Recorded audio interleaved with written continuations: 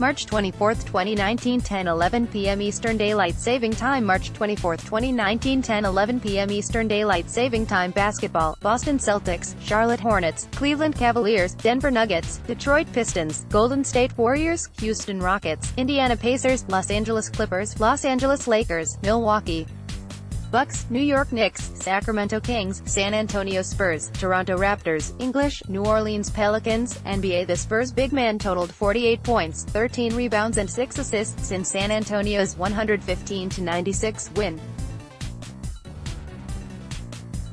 LaMarcus Aldridge exploded against the Celtics on Sunday night. The Spurs big man totaled 48 points, 13 rebounds and 6 assists in San Antonio's 115-96 win. He showcased his signature mid-range game along the way. LaMarcus picking up where he left off as the third quarter gets underway.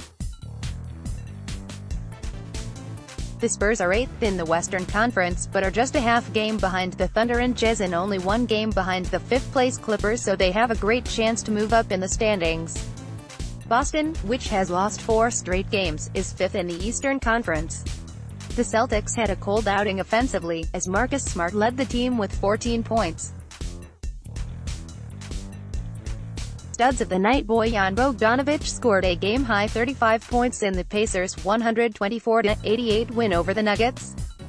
Lou Williams tallied 29 points and 7 assists to help the Clippers top the Knicks 124-113. James Harden's 28 points led Houston to a 113-90 victory against New Orleans. Of the night Malik Monk scored three points on one of five shooting in the Hornets' 115-114 win over the Raptors in Toronto. Highlights Jeremy Lamb knocked down a ridiculous half-court buzzer beater to seal the deal for Charlotte. We have NOWORDS. Exploding head Jeremy Lamb with the half-court buzzer beater to win the game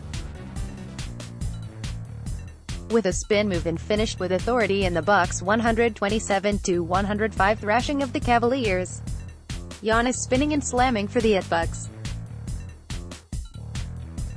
ET, this matchup features two All-Star point guards in D'Angelo Russell and Damian Lillard. Brooklyn and Portland are both in the playoff picture. Each team has dangerous backcourts that can fill it up in a hurry.